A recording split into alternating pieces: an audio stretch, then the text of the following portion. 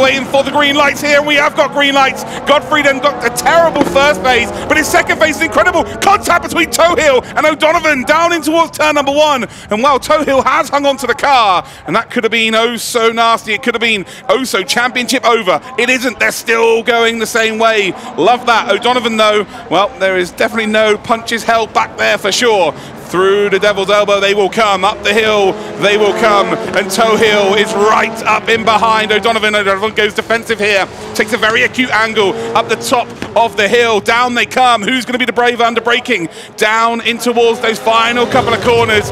And I'd be very surprised now if Tohill doesn't decide to come through that Joker. Around the final corner they come, through the chicane here. Nice and opened up there by Tohill. Tohill maybe with a little bit of a momentum shift here as they then come down in towards the final, well, sorry, into turn number one. And it is indeed going to be a Joker then for Tohill. Tohill has finished second twice today, is into the Joker, and actually he's going to come out behind Godfrey. So Godfrey then, who's joking on lap number one, is going to indeed take up position three in the race and potentially the race lead. Tohill was right behind uh, O'Donovan in terms of the race when he came into the Joker, so watch out for Godfrey. Godfrey may have track position. He's also got a gap to work with in front here. He's got clear air over the top of Harry Hill. Down the hill they come once again on lap number two. And wow, will O'Donovan have to try and cover them off straight away here?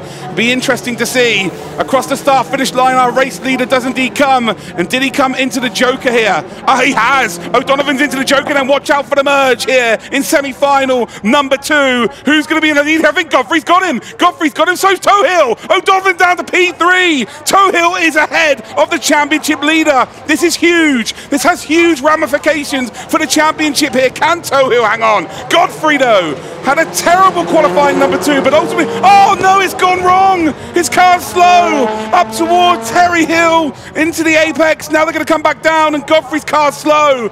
The race lead now goes back to Tohill, and he's just got to try and get across the line as Godfrey. The day is going from bad to worse.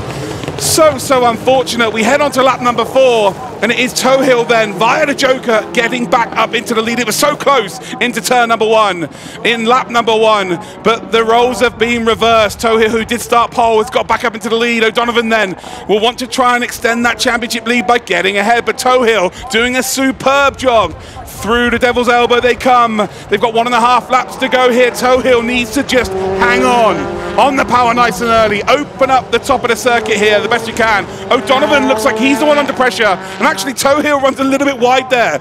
We'll be able to carry a little bit more speed though through the exit down in towards the final complex of corners before we start the final lap here. Two completely different lines taken then by our race leaders here. Tohill taking a wide entrance and indeed taking a tight exit. And then we've got on the opposite side there, a tight entrance and a wide exit for Tohill.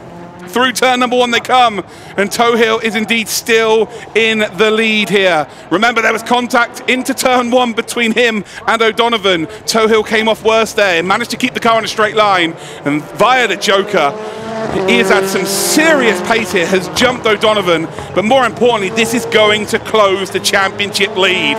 Over the top of the hill we come.